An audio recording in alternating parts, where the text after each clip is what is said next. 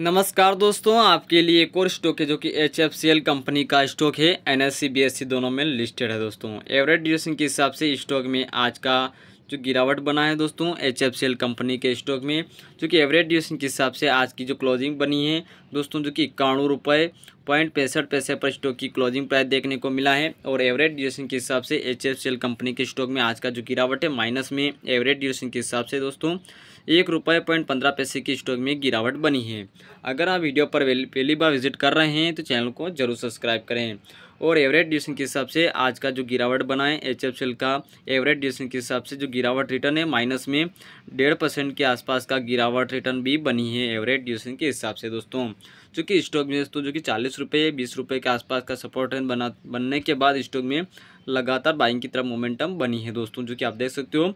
बीस रुपये का सपोर्ट बना है स्टॉक में और स्टॉक में एक तरफा की बाइंग की तरफ़ मोमेंटम बनी थी स्टॉक में, जो कि इक्यावन रुपये का जो सपोर्ट है बना है अभी के फ़िलहाल में, वही इसका जो कि पहले की रेंज में बाइंग की तरफ़ अच्छी खासी मोमेंटम बनी थी। तो वहीं से स्टॉक में आज का जो सपोर्ट बनता हुआ देखने को मिल सकता है क्योंकि स्टॉक में फिर से बाइंग की तरफ़ का मोमेंटम दोस्तों, जो कि पहले जो गिरावट बनी थी स्टॉक में दोस्तों, जो कि आप देख सकते हो, अस्सी रुपये का सपोर्ट रेंज बना था स्टॉक में, और यहीं से फिर से बाइंग की तरफ़ मोमेंटम देखने को मिल रही है, जो कि सौ के आसपास का बाइंग की तरफ़ मोमेंटम अच्छी खासी देखने को मिल सकती है एच कंपनी के स्टॉक में, जो कि एच कंपनी का स्टॉक टेलीकॉम सर्विस के अंतर्गत ये स्टॉक देखने को मिलता है।